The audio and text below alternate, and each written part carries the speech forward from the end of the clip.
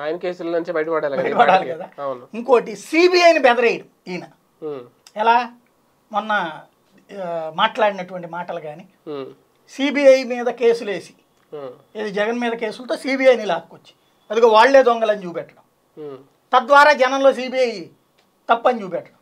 అప్పుడు అదే సిబిఐ మీద ఎఫ్ఐఆర్ కడితే ఉమ్, "ఏ, చూడండి ఇదేదో అనేటువంటిది. అంటే చంద్రబాబు గారు పొలిటికల్ స్కెచెస్ కంటే కూడా ఈయన ఫీల్డ్ స్కెచ్ తాతల్ని మరిపించాడు ఈయన.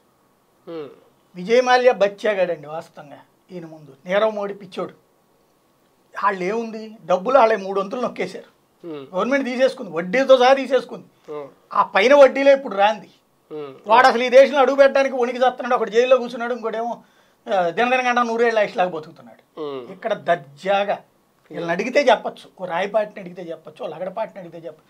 లగ్జూరియస్ స్పెషల్ ఫ్లైట్లు వేసుకెళ్ళగలిగిన కెపాసిటీ బట్ ఈ అప్పు మాత్రం తీర్చరు. ఈ మోసాన్ని వదిలిపెట్టరు. నా తప్పే ఉంది అందులో పది మంది ఉన్నారు. ఓనర్వి నువ్వు నువ్వు. పది మంది బోర్డు పెట్టుకుని వచ్చావు. డైరెక్టర్లు డైరెక్టర్లు తెచ్చుకుని వచ్చావు తొమ్మిది మందిది. అసలు దానికేంటి? ఇలాంటి ఒక అద్భుతమైనటువంటి స్కెచ్ నభూతో నా భవిష్యత్ ఎవడు వేలేడు అది ఇక్కడ ఈయన ప్రూవ్ చేశాడు. ఛార్జ్ షీట్ అయిపోయేదాకా బయట ప్రపంచానికి తెలియలేదు. రెండు వేల పద్దెనిమిదిలో తెలుసు అందరికి. అవును. అది హైలైట్ కాలా. కానీ ఇలా. ఎందుకు? Anti Jagan media. రాయపాటి గురించి రాసిందా?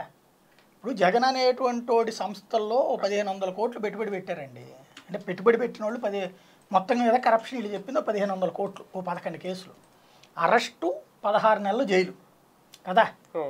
పెట్టుబడి పెట్టడం నేరం అక్కడ. ఇక్కడ మరి వంద ఏంది తొమ్మిది వందల ముప్పై ఇప్పుడు వీళ్ళు చూపెట్టింది. ఆయింది ఇరవై వేల కోట్లు లగడపాటిది. రాయపాటిది దాదాపుగా పదిహేను వేల కోట్లు ఇరవై వేల కోట్లు. తర్వాత సుజనాది ఎనిమిది వేల కోట్లు. జగన్కి పదింతల కేసులు అవి.